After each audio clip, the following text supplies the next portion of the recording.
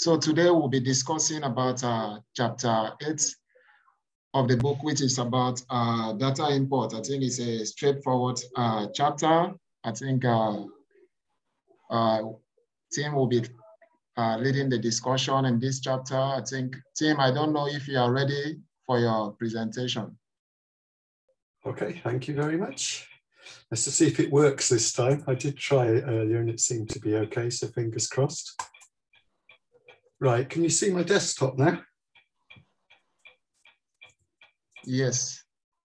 Brilliant. But we are not seeing the notes yet.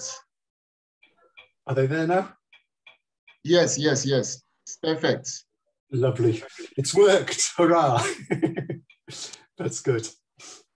Okay, so um, I think there's not much in the way of slides there for this, but we'll quickly just look at the, um, the introduction slide just to get an idea of what we're going to be looking at.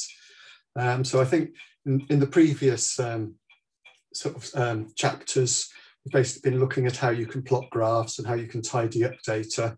And again, the way the book's presented, it's all a little bit backwards because now we're actually going to learn how we can get data into the computer, into R. And um, basically the, the, ways we can do that are by reading data from disk with read um, read very well it depends on the type of file read csv is the most common one but there's a whole range of different functions which will enable us to um, load up different types of file into R. And we'll look at um, the differences between them, how they're similar in the way they work and how they're different and why you might choose some over others. Uh, I think also an important thing to look at is as the data is loaded in, uh, we can actually pass data into different types of um, field um, using parse functions as well so that um, we can make sure that it's read properly, whether it's a numerical string, some other sort of character encoding or date time data. So we're actually loading it all up properly. Um, and also sort of hopefully we'll look at some um, problems that might happen when we try and use those read functions. And finally, having read it and done whatever we want to do with the data, we can actually write it so we can save that data in a format as well. So, so that's basically what chapter eight is all about. Um, so I guess the simplest thing is just to dive straight in. Okay, so if we look at the getting started section, as I said before, this um, you know read CSV, the comma delimited files really is the most common type of file that, that we'll use. Um, but there's there's a whole load of other sorts, so they could be semicolon separated, to, um, which is CSV2. Tab separated would be a TSV, um, or files with any other delimiter that might mark the, the gaps between different um, fields. You can use read delim, which actually lets you specify any character that might be used um, to show the different columns. Um, then two that I, have not really looked at much. I, I don't know sort of whether or not they're going to be of interest to, to others here and maybe Oluwafemi could um, pick up on that if it is something we need to look at more. But there's the um, read FWF and log, so fixed width files and log files. And there's actually a whole host of different file types and packages. So you're not just limited to these. I think one of the great things with R is that there's packages for most things. So you can probably find a package for any odd file type that you might want to load up. Okay. So the, the simplest thing really is um, just reading a CSV. And, and, here there's actually just a, can I copy that?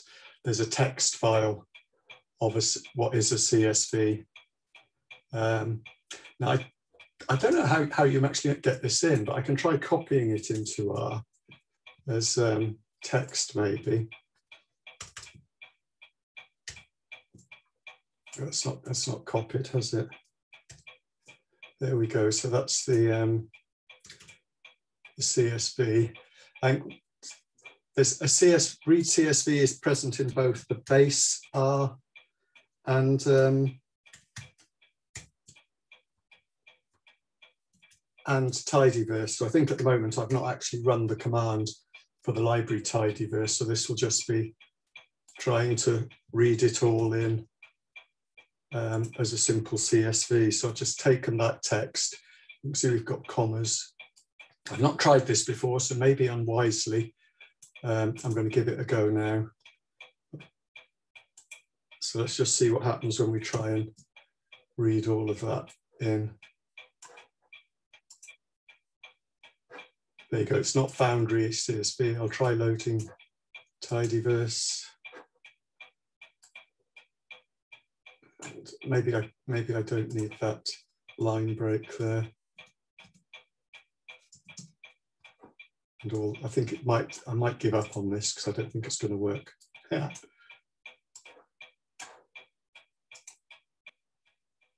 No, it's, it's, the format of it. Does, it doesn't seem to be happy with all of that.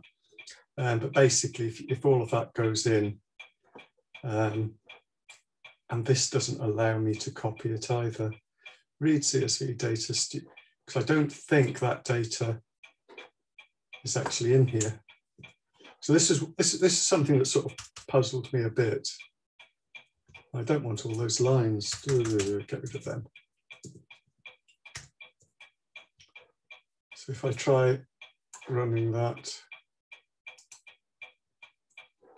yes, it can't find the data file. So I'm trying to read a file that doesn't exist. Whereas if I go to one that I know is there, that I'm pretty sure I've run before. You can see we just read CSV. We've got the, the, all the files within the quotes and each column and data field separated with commas. So by running that, I've actually got the three columns A, B, and C, and then the rows of data one, two, three, four, five, six from running that, um, which is actually this little bit here. Okay, and it always takes the first line of data for the column names. So if we go back here, you can see column names have come from the first three fields in that read CSV statement. Um, and you can change that if you really want to. So here it's saying that you know, if you've got metadata at the top of a file, some information about where the files come from that you don't really want in there, you can actually use skip or comment out data. So that's what this is doing here. So, so here you've got something, you've got a CSV file, but you've got two lines of metadata at top called the first line of metadata, the second line of metadata. Um, and then you've got the actual data you want to read in. But after that, he's actually put skip equals two. So what that's going to do is actually skip the first two lines of metadata and then read the XYZ one, two, three, um, as the other one did.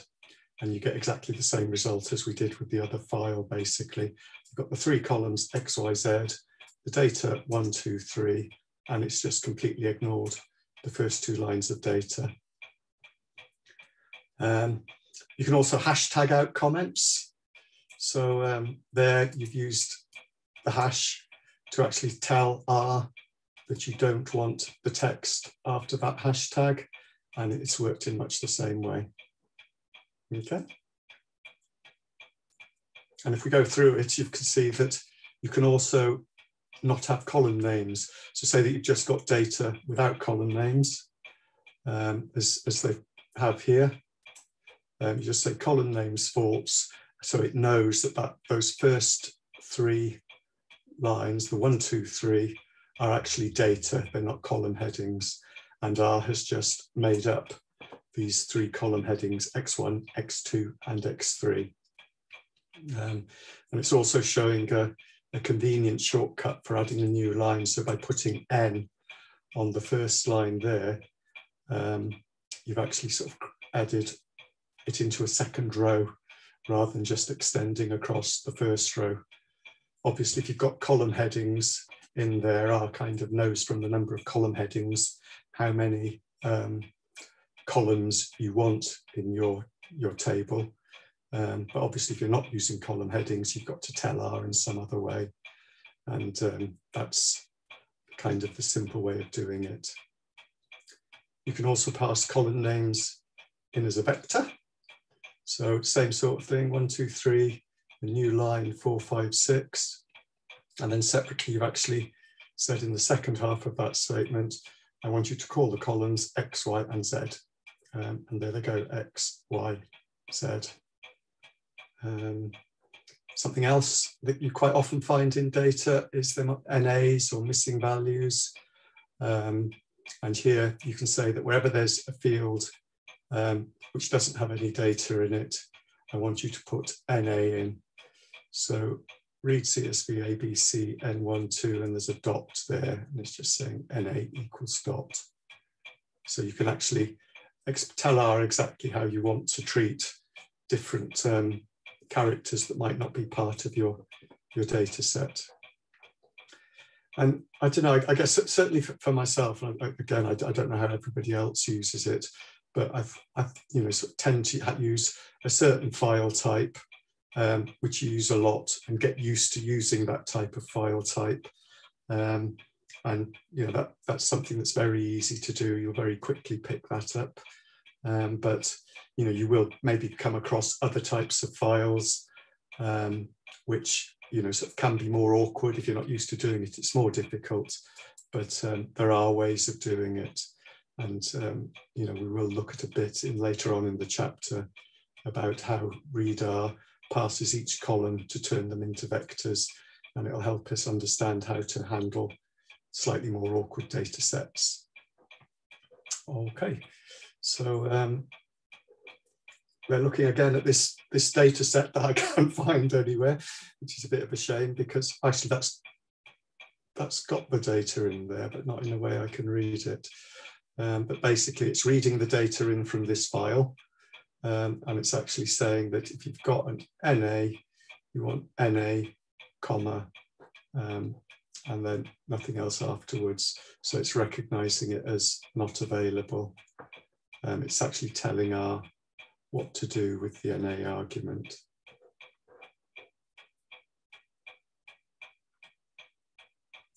Okay, so now you've actually got the NAs in some of those columns.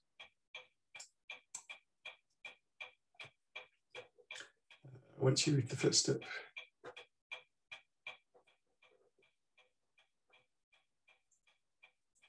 Okay, yeah. So um, I, we looked last week at um, at coding style, um, and of course, when we import data from Excel um, spreadsheets or wherever they might come from, um, it may well be that they've been um, written in a non-standard way, and of course, there are packages, as there are for just about everything in R, to, to cope with that.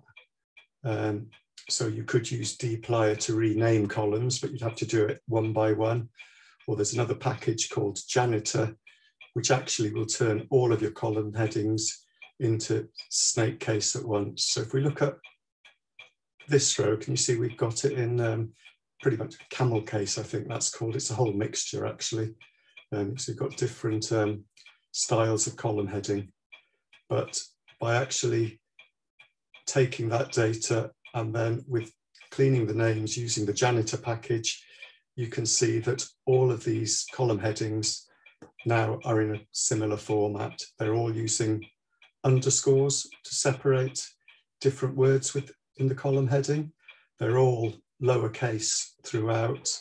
And you know, with some of, and it's even recognized where there was things like a, a dot used to break up the two words it's recognized that's being used for that purpose and put in the underscore and meal plan, it's picked up on the fact that you've got a capital P there um, and separated that out into two words.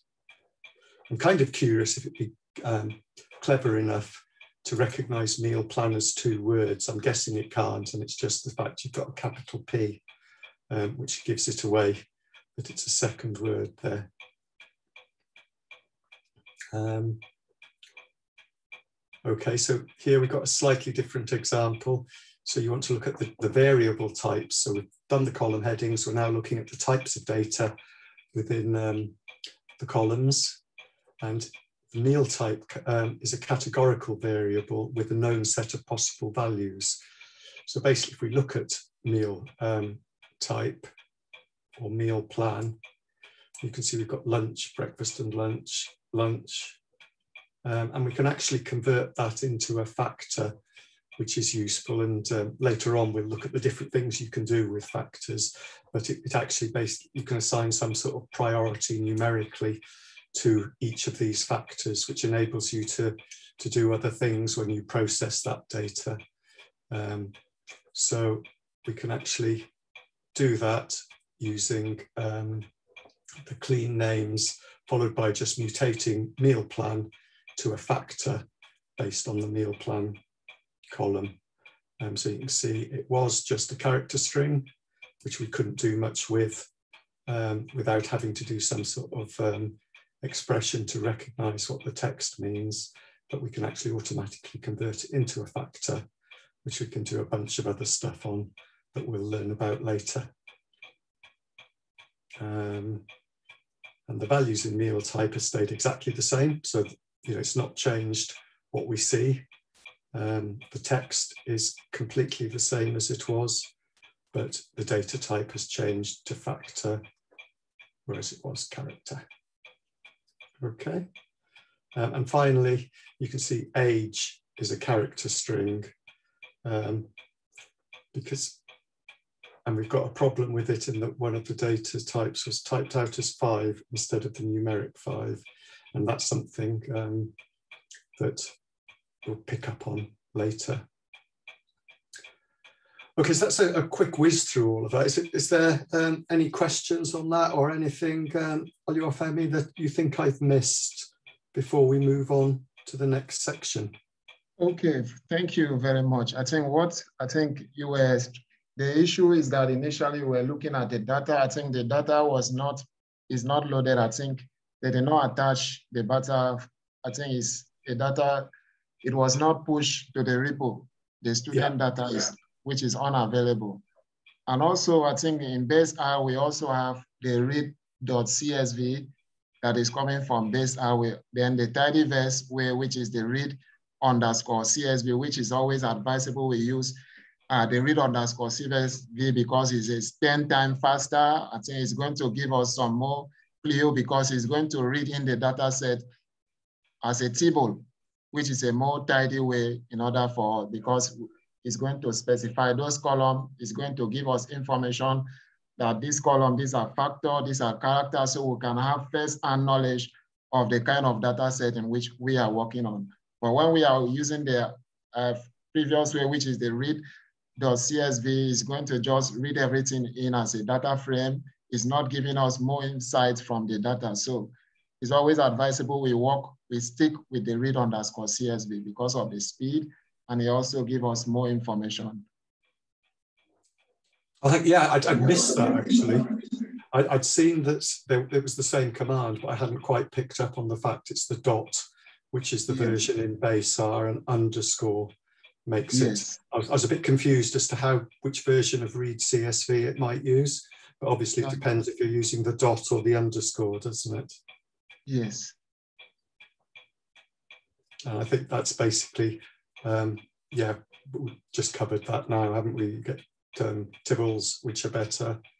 And um, the other thing it seems to say here is that um, base R functions can actually get some of their behavior from um, what your operating systems. They might not be identical on different computers, whereas um, the, the um, tidyverse ones actually don't behave in the same way. Okay. Um, do we want to look at the exercises or just leave them, do you think?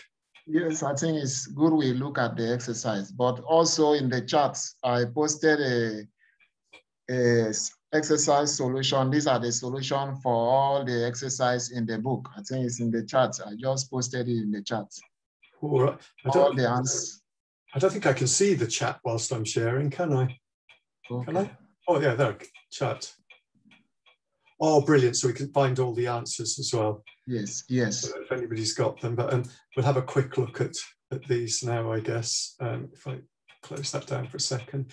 So first question, what function would you use to read a file where files are separated with um, I don't I, I, don't actually know what that symbol's called, just the vertical line sort I of thing. That is a tab. That is a tab.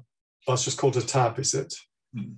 Um, So that would probably be a, what's it, a read TSV, I guess, then if it's tab separated variable. Um, and if, if not, if you wanted to specifically type that in, you'd use the read delim function. Um, oh gosh, I'm not even going to attempt this one at the moment. I think if we wanted to find out about read CSV and read TSV, what I'd probably do is something like look at the help package in our, there you go, and there's a whole bunch of stuff there. It's not letting, oh, come on. Let me, it will let me scroll down.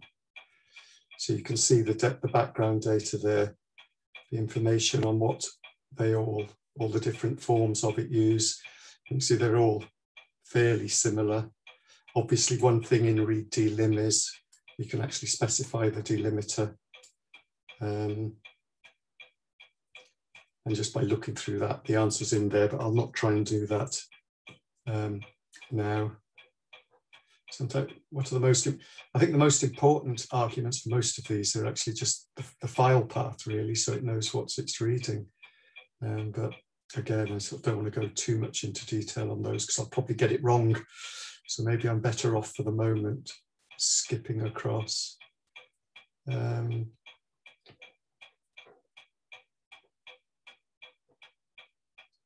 Okay, that's a, an interesting question, isn't it? Is it? Worth having a go at that.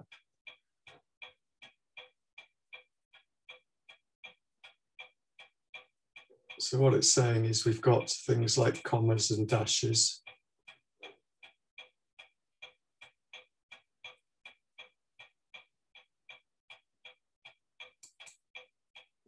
So I, I think that's saying we need to surround some of those with quotes so that it doesn't confuse them. I don't know if the help tells us anything there. I'll leave that.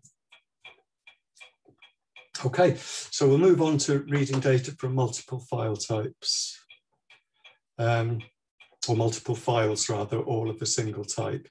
So, you know, you might end up with a whole bunch of files um, that you want to read in in one go.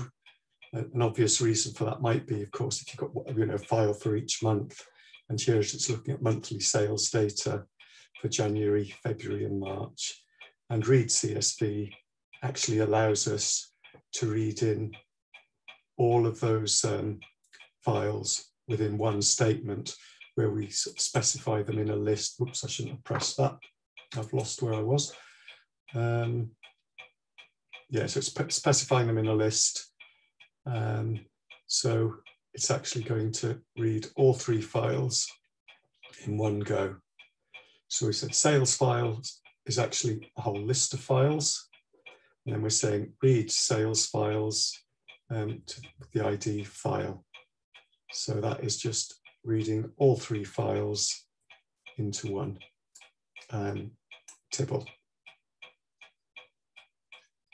Um, the additional ID parameter, we have added a new column called file. So that's actually, which is what this ID equals file is doing. It's basically saying, add a column um, and tell me what file you got that data from. Because obviously if we're reading lots of files in, um, we wouldn't be able to tell immediately perhaps which file data had come from. Um, but by having the file name there, we know where our data's come from.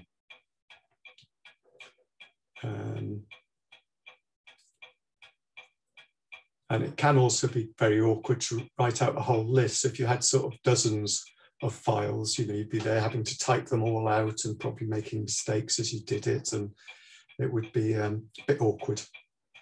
But what you can actually use is um, the directory function to find the files for you by matching a pattern in the file name. So here, rather than typing in a list um, with, the, with the concatenation, we're saying, look in the directory data and the pattern I want you to find is anything that's called sales and is a CSV file. Um, and then that is actually going to read all of that into a list for you. And if there's three of them, it might not be a big deal, but if you've got 30 or 40, definitely don't want to be typing them all out individually. Okay. Um, as we said at the start, we'd also look at useful functions for writing back to disk. Obviously, we can write a CSV, so we could upload a bunch of CSVs, um, maybe several of them, combine them into a single file, do some uh, manipulation, maybe tidy up the data, clean up the column headings, all of that sort of stuff.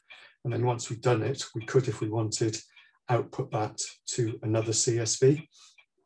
Um, or we could write um, a TSV, a tab separated um, data set.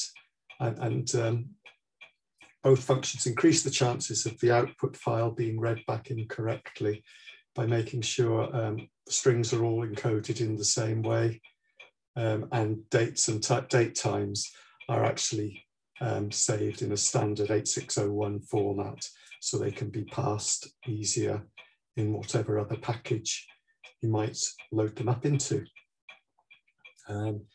Um, if you want to export a file to Excel, you can use Write Excel CSV, um, which um, lets Excel know that it's actually done this UTF-8 encoding on it, so Excel doesn't get confused by the character coding that it's used. Uh, most important arguments are X, the data frame to save. Obviously, we want to get the name of that right and where we're going to save it. Because if we get those wrong, we're probably not going to find our files very easily. Um, and you can also specify how missing values are written with NA um, if you want to append to an existing file. Okay, so we can actually handle some of the NA problems a little bit with that. So here's an example. So you can see write CSV students, students CSV. So that's the same file that was uploaded earlier. Um, so you can write it and then you can read it back again. And if we look at compare those two, um, you know, there's certain types of information are lost. So straight away you can see the factor that we created for the meal plan. That's gone back to a character string. Um, have we lost anything else? Not a great deal that jumps out at me. I think that's the main thing that's been lost is, is that factor information. Um, so basically, if we're working on things and saving data as we go along and reloading it, having interim files, you know, obviously it gets a little bit unreliable if we're losing stuff each time we save it. Um, we need to recreate the column specification every time you load it in.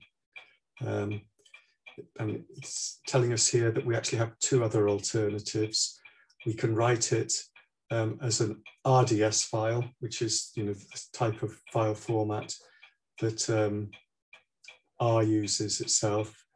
Um, and then if we do that, so if we do a read, write RDS and a read RDS, you can see we've kept the function plan because we're using that data format that R works in.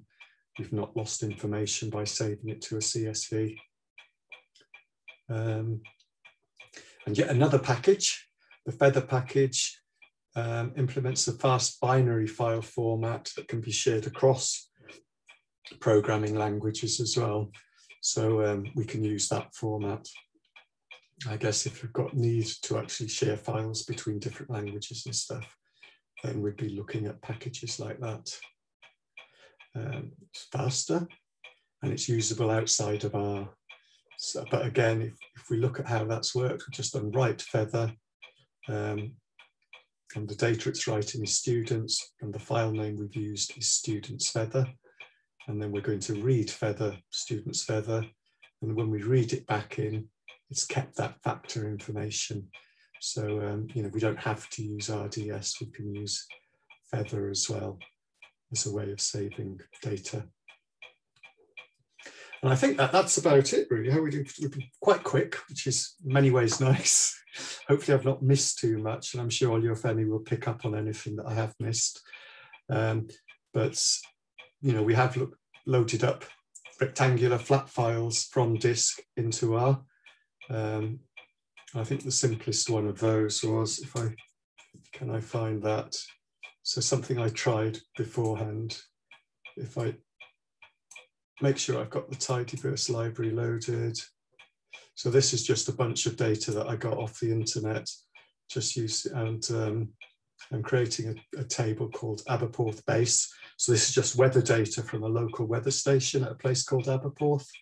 Um, and I'm just putting the file path to where that file is within quotation marks.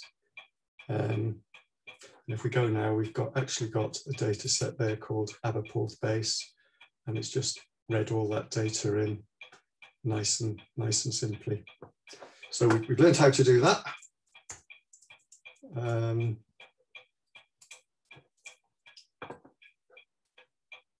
um, we'll come to data import a few times in this book, so we'll be looking at other ways of importing data later on. Um, and we're starting to get the point, I guess, where we'll be writing more R code. So we, it's time to start learning about how we organize files into directories and the like. And I think that's what the next chapter is all about. Um, and I think that pretty much covers it. Um, any questions, anything that I've missed? Yes, I think I have a question, but it's based on the data set you just read in. Yeah. Just go back to the data set you just read in and yeah. The studio just share your RStudio.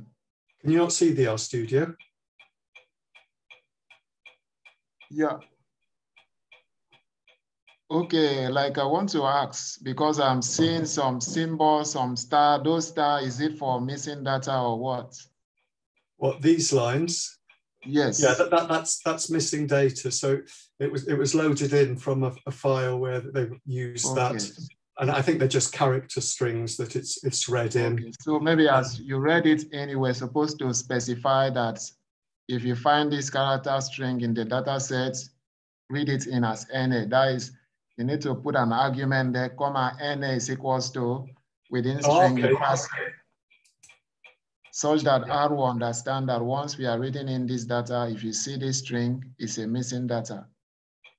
Okay, so, so that goes in a comma here, does it? Yes, yes. So I put what, I can't remember what that was now. I'm going to have to go back in the book to find it. Um, Just say NA is equals to. NA equals, and then it's in quote, within string double quotation. Double quotation. Oops, that's. And is, then you pass in the three star. Okay. You pass in the three star, yeah. Copy that and paste that in there. Okay. And then if I try and run this, and if I go back there, there you go. Oh, thank you very much. It's putting my NAs for me. I missed that bit. okay. Such that as you read it in now, I understand that when we find this character string in the data is an NA. But at times you might have different character encoding for NA. You can say 999, some, some software use 999 to represent NA. So in that case, you just need to create a character vector, then you pass in all those code in so that once you are reading in the data, I will understand once you find source character in the data, so treat it as NA. Yep. Great, thank you. I think, okay. I don't know if any other member of the group has any other contribution.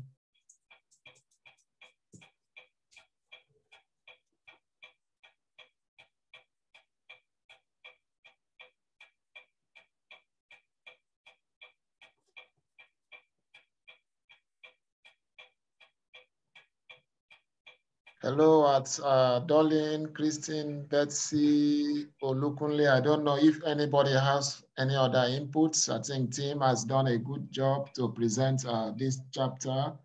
Thank I you. I think I've put them all to sleep. you did a wonderful job, Tim. Thank you so much. Oh, you're welcome. Thank you. It's a pleasure. Okay, so in case there is no further, I Miss, I want to really thank you for uh, presenting the chapter. I think I will meet uh, next week. Uh, next week, we'll be discussing uh, chapter nine of the book. I think Fanny will be taking us through that chapter, but uh, let me be sure. Fanny, yeah, Fanny signed up for the chapter, so you'll be presenting chapter nine next week. So see you all uh, next week. Okay, that's great. Thanks very much, everyone. Cheerio. Bye. Thanks, everyone. Bye. Bye. Thank you, Tim. Bye bye. Welcome.